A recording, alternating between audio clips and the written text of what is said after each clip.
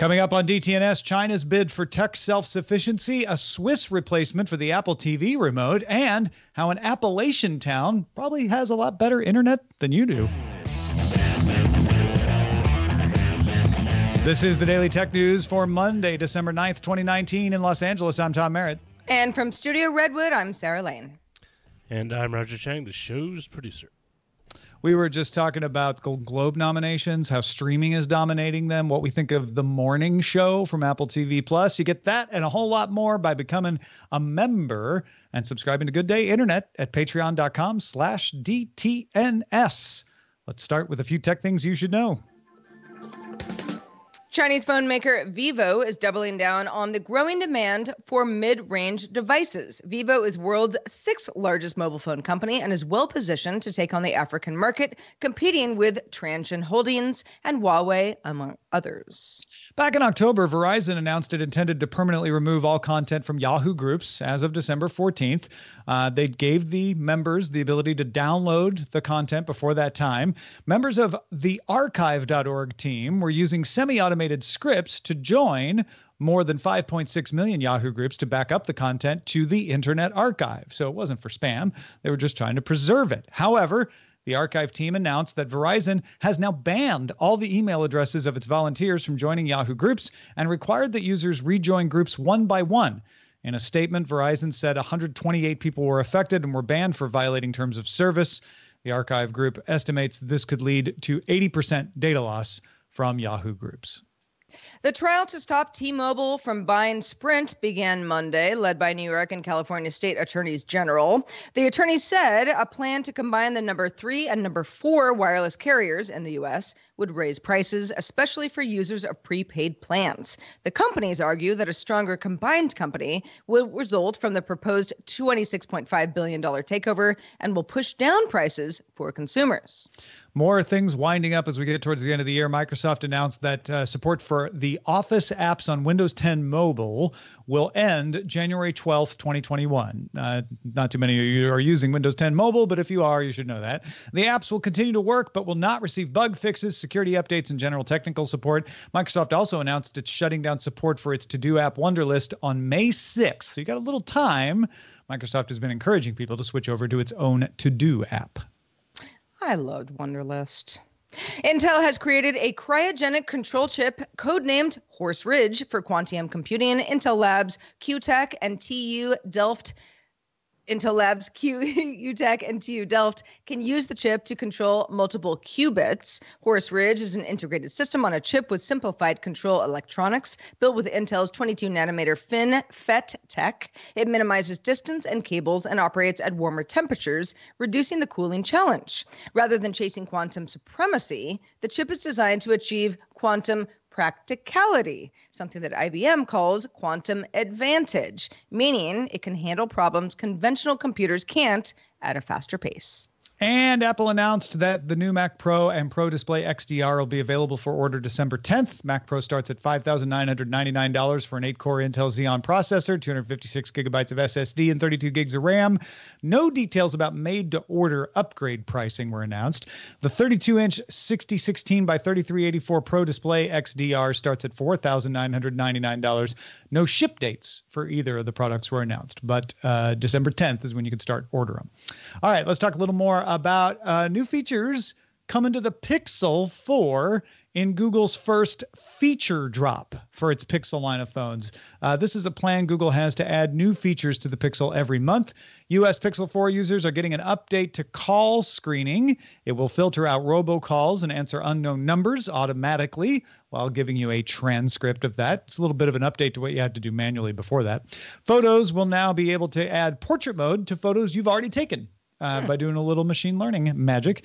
And Duo, the video calling app, gets auto framing, so you can center around the one or two people that are in the uh, in the video frame, along with some background blur and smooth display, which can take a bad connection and make it look a little better.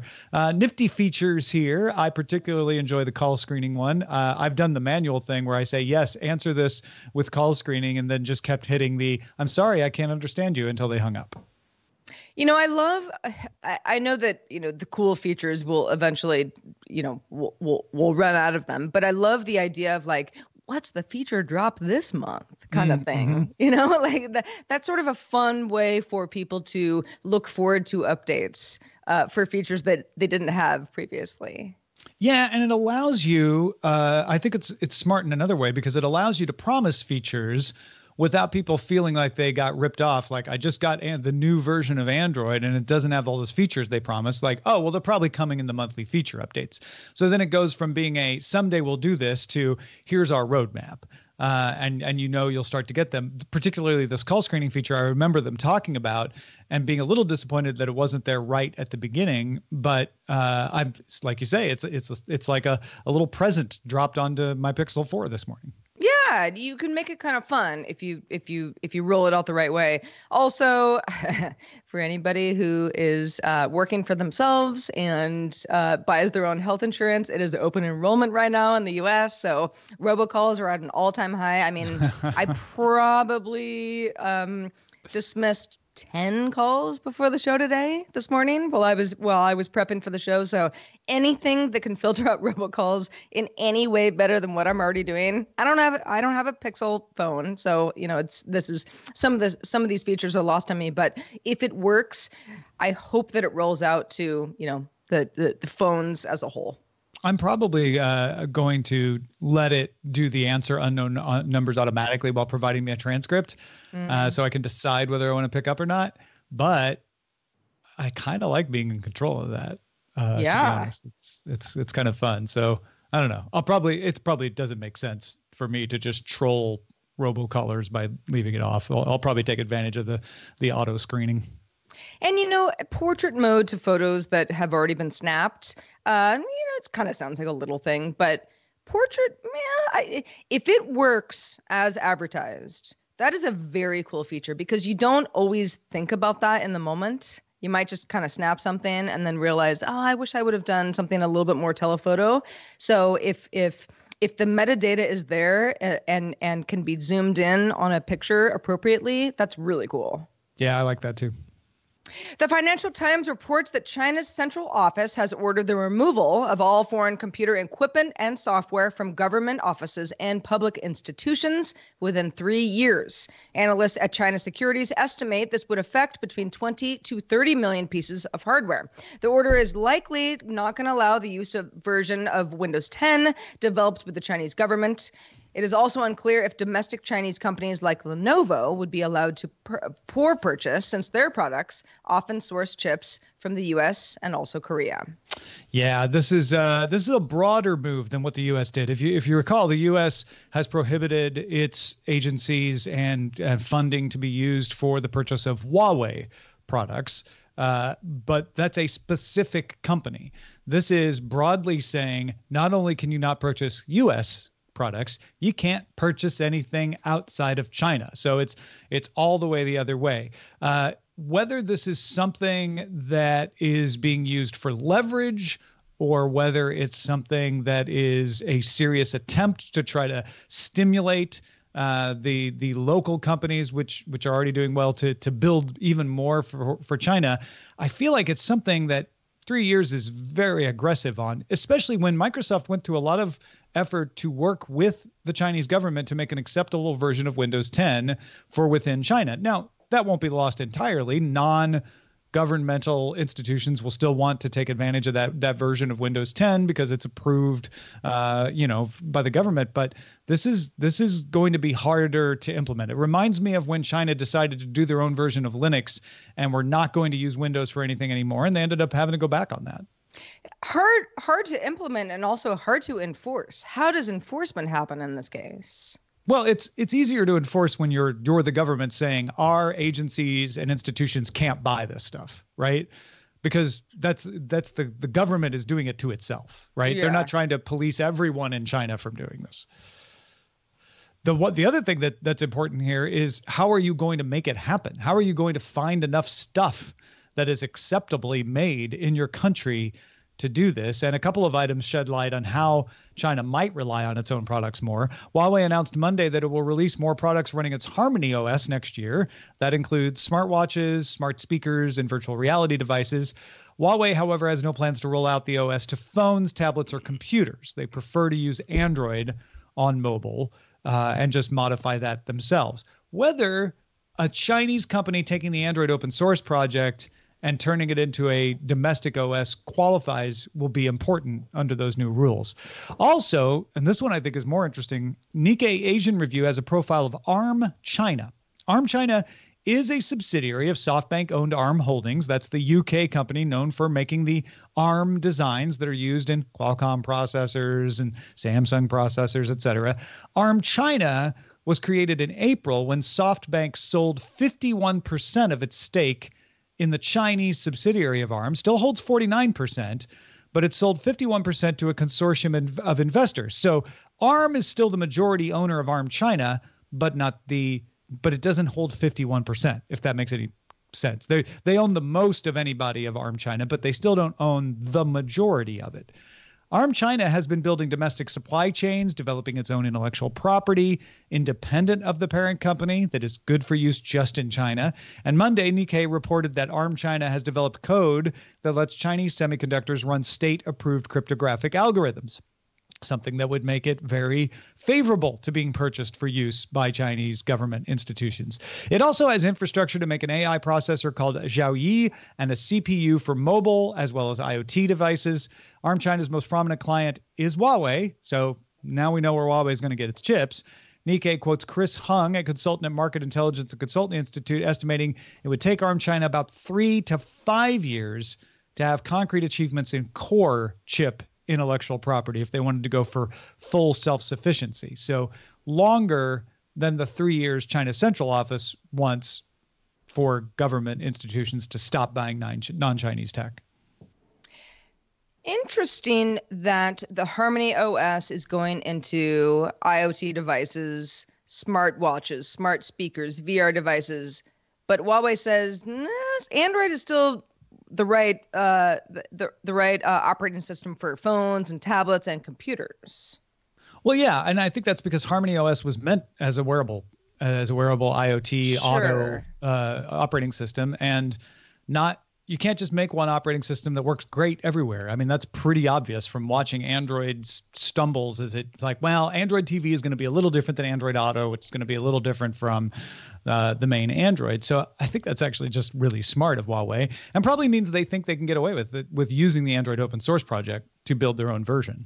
Yeah, exactly. I mean, the whole thing really feels, at least to me, like a a hedge against any kind of future, not maybe not fallout, but let, us just plan for the worst uh, by by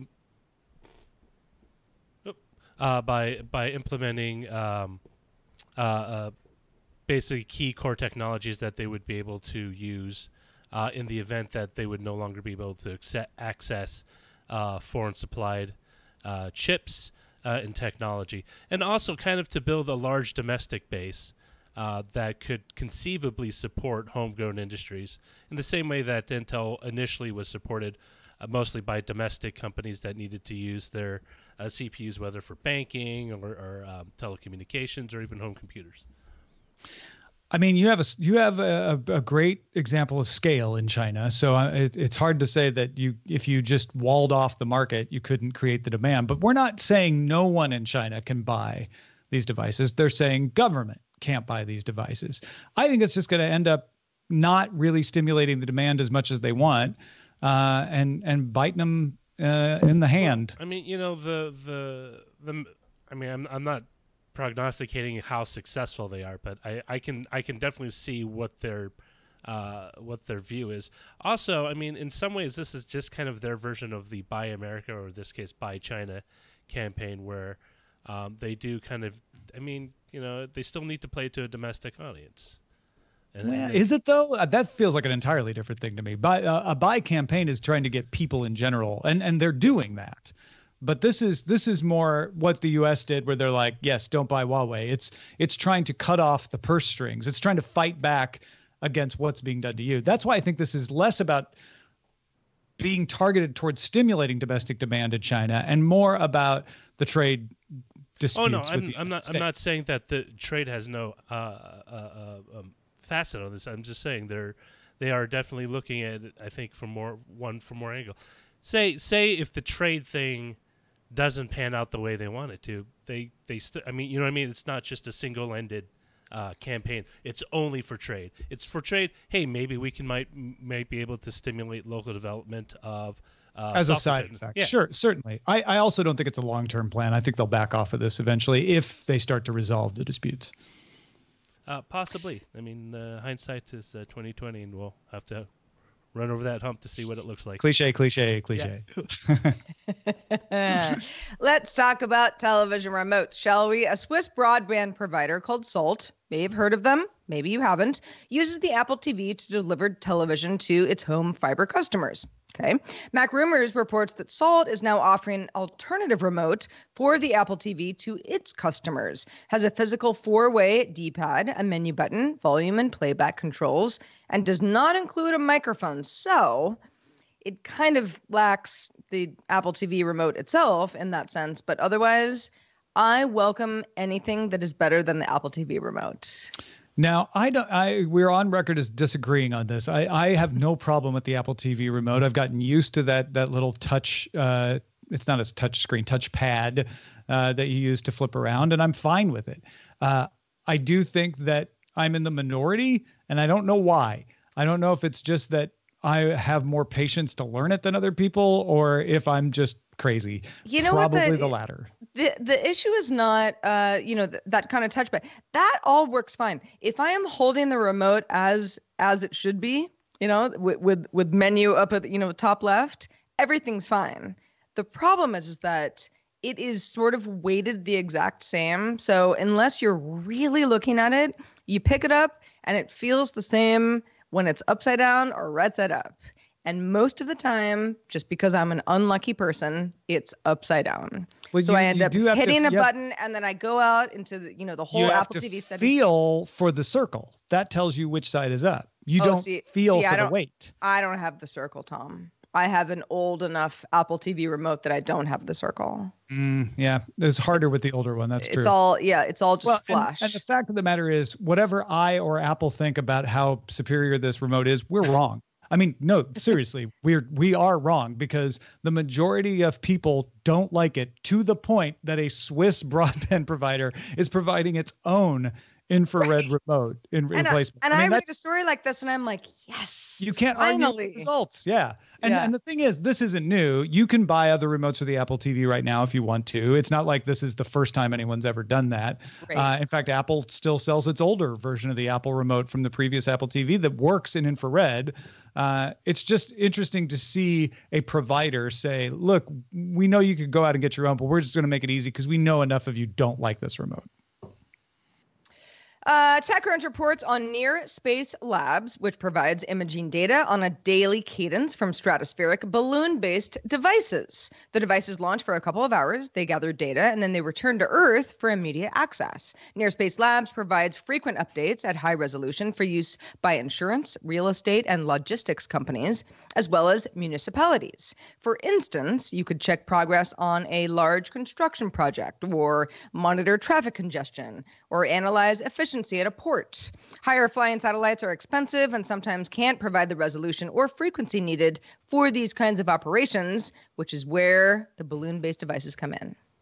I mean, this is pretty genius. I think uh, you, you, it's easier to get in the stratosphere than it is to get to low Earth orbit. It's less costly. Uh, it you can get up there and back faster. I, the what's not to love about this as far as the ability to have some some not quite real time right? That would be the next step up but but very within a day imaging of things that you need to look about look at. I mean I, I could see a municipality just saying like hey we need we need to know what's going on with our traffic. Can we order uh, pictures to be taken of the city and its traffic at between three o'clock and seven o'clock for the next five days? And mm. near space labs would be like yeah no problem. We can do that yeah, and that's a really great example of someone who's like insurance company. What would they want with this kind of data? That's what they would want.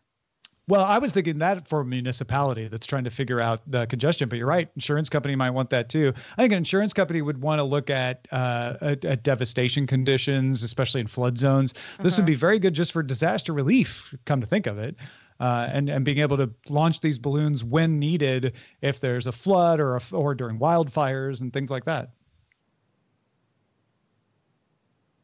I just uh, I, I, I think there's there's so many good uh, applications of this. You know. Yeah, I'm kind of uh, racking my brain to figure out like, okay, what kind of other insurance would, could could take advantage of this, but. I mean, the implications are far and wide. Uh, insurance, again, real estate, certainly mun- municipalities in a variety of, of sectors. Uh, the real is, Silverblade thinks insurance companies want to find hidden structures you're not paying for. Or that, right? Maybe. This is good and bad. Balloon based devices. good and bad. Uh, if you're in the insurance industry, uh, let us know what you think this would be used for, because I'm sure there is a good use of it that we're not thinking of. Uh, I could think of the logistics one because we talked to Big Jim enough about logistics and ports and just being able to see like what the traffic is in and out, what the flow is like, uh, mm-hmm. whether peak traffic is coming, all, all, all kinds of things like that. I'm sure there's other things Big Jim could think of think about that we're not thinking about either. Uh, but I, I thought this was an interesting, not FAANG. It's not one of the big companies, uh, but filling a niche that had yet to be filled, uh, using the stratosphere for for space imaging at a higher resolution with more frequent updates. Love uh, it. I would say homeowners insurance is the big one because if you can fly over a property that just got nailed by a storm, you can say, "Well, we can assess the damage from here." Oh yeah, uh, probably not just from yeah. there. You probably still want your ground-based assessment, but that that can help in the assessment. That's a good. That's a great one. Yeah. Well, folks, if you want to get all the tech headlines each day in about five minutes, be sure to subscribe to dailytechheadlines.com. A New Yorker piece by Sue Halpern called The One Traffic Light Town with Some of the Fastest Internet in the U.S. That's actually two whole counties, it's not just one town. Tells a story about the People's Rural Telephone Cooperative, or PRTC, which has wired up Jackson and Owsley counties in Kentucky uh, with high speed fiber, gigabit fiber. PRTC obtained grant money and loans uh, through the Connect America Fund, now now called uh, the Digital uh, the the Digital Opportunity Fund. They also got some money from their sister company Appalachian Wireless and some money from the U.S. Department of Agriculture to build a thousand miles of cable fiber at fifty thousand miles $50,000 per mile to 7,000 structures. Project took six years. High price tag was in part due to the commitment to serve every person in the region, no matter how remote. we're talking about mountainous country here. Uh, in fact, it meant they had to use a mule called Old Bub to haul fiber through mountain passes and into particularly remote locations uh, because they just couldn't get machines in there. Like a the, mule, like a like a donkey. Like a mule, like yeah. yeah, because a lot mm-hmm. of farmers still use mules in this area. They're like, well, I guess we'll use old Bub to haul the fiber through. After the build out, the PRTC worked with Teleworks USA to train residents for remote work. Local unemployment fell as a result from 12 to 16 percent, depending on which county you're talking about, to 5.5 percent. Residents now work for customer support and tech support for companies like Hilton Hotels, Cabela's, U-Haul, Harry and David, and Apple among others. Some are, in fact, uh, one particularly was quoted as tutoring children of wealthy Chinese parents in conversational English, joking that there's going to be a bunch of kids all over China with speaking English with a Southern accent. And the cooperative has plans to upgrade to 10 gigabit. Uh, so they're not stopping there. Uh, it, this this is, I think, a really uh, fantastic uh, and and very interesting uh, case study of what happens when you have local support for something, local will to do something, a little bit of financial help to get it done. Uh, how it can it can change a county from being what has been called by some to be one of the poorest, if not the poorest counties in the United States, to one with you know a reasonable level of unemployment and people starting to get back up on their feet. They're not getting rich, but at least they're they're able to have jobs that allow them to to pay their own way. Yeah, I mean, unemployment falling from uh, upwards of 16% to 5.5% is, I mean, that is somewhat staggering. Uh, I'm not saying that you know the, the customer support jobs that are afforded a lot of people because they have great internet are the you know that great jobs. Sure. Can't say that. But the fact that there is more opportunity and more people have an opportunity to have jobs and use the internet to their advantage just goes to show you, you know, when you hear stories of underserved areas, and wouldn't it be nice if, you know, there was better internet in this area, but uh, it's hard, you know, it's mountainous or it's rural or, you know, the, you know, the, the carriers just, you know, the, they can't make it work. Well, when you do, good things happen. Well, I mean, and this, oh, I was just going to say, this story really underscores how important broadband is in, in contemporary society, especially as it is to job creation. It isn't just a nice to have. The kids get to, to, to do their homework and a couple of other fun stuff things, but really just kind of a driver of, of economic growth. Yeah, the the uh, the other thing is we're starting to see some more side effects of this. So there's a factory that located here because they were able to do training with people uh, and had the internet to provide some of the services that they wanted to do in a factory, a factory that never would have opened. This is a place where factories have been closing. Uh, when the weather is bad or there's a flu outbreak, teachers can still stream their classes to students at home. That allows them to have what's called a non-traditional instruction day, which means the school district can still collect its funding uh, because it's not closed. They don't get to collect mm-hmm. funds to operate the school on a day that it's closed. So th- there's all kinds of side effects that we'll see happen here. Uh, if they still are able to get the money to do their expansions, or whether it'll be a question of whether we see other areas be able to do this as well.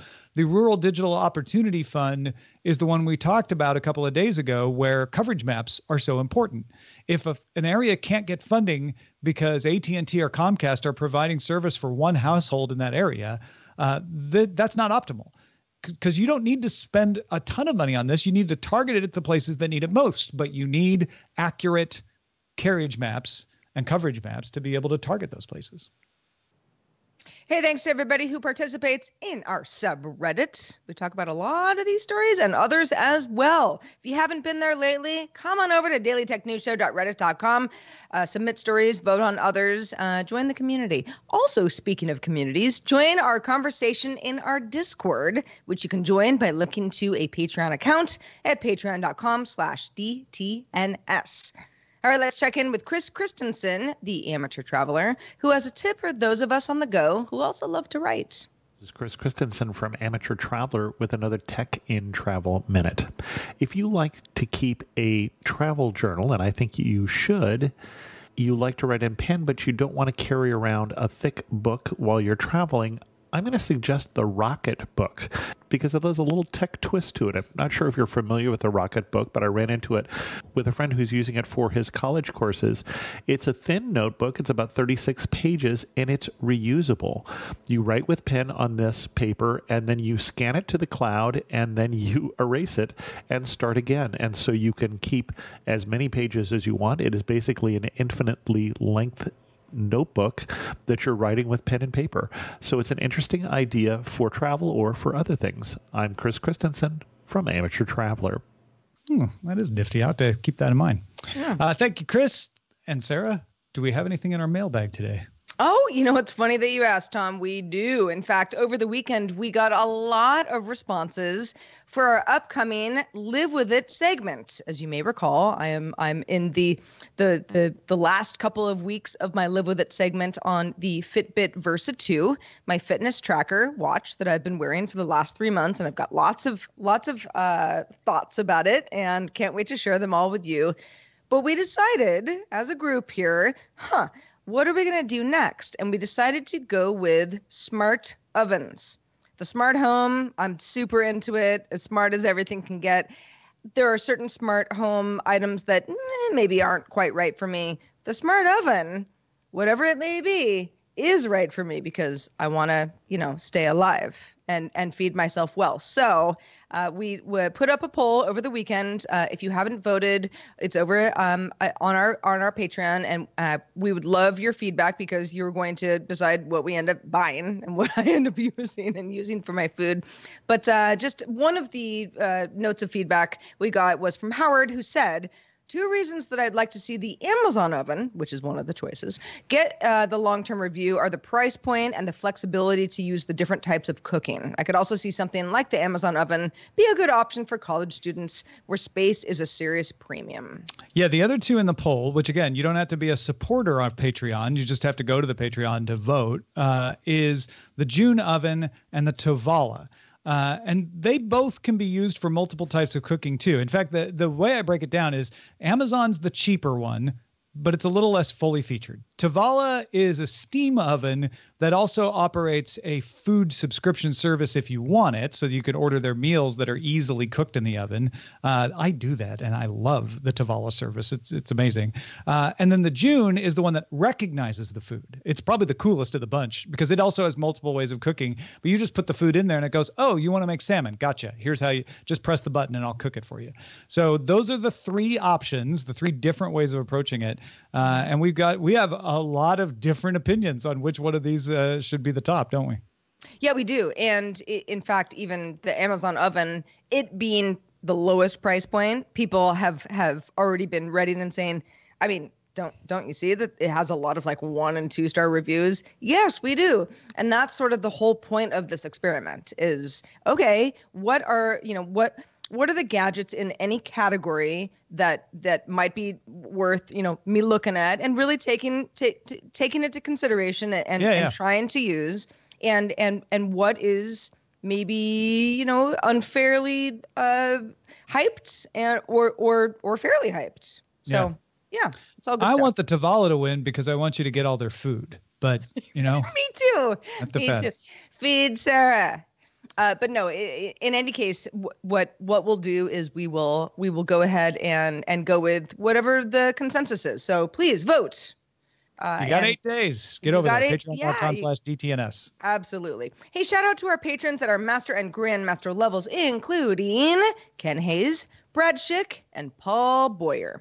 We also have a new Patreon reward merchandise to celebrate six years of DTNS. Len Peralta created a fancy new six year anniversary logo. I just got the mock ups. They look great.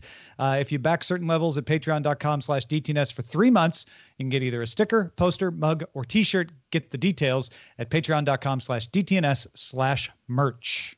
Our email address is feedback at dailytechnewsshow.com send us feedback. We want it. We're also live Monday through Friday. If you can join us, please do. 4.30 p.m. Eastern. That's 21.30 UTC. And you can find out more at dailytechnewsshow.com slash live. Back tomorrow with Patrick Beja. Talk to you then. This show is part of the Frog Pants Network. Get more at frogpants.com. Diamond Club hopes you have enjoyed this program.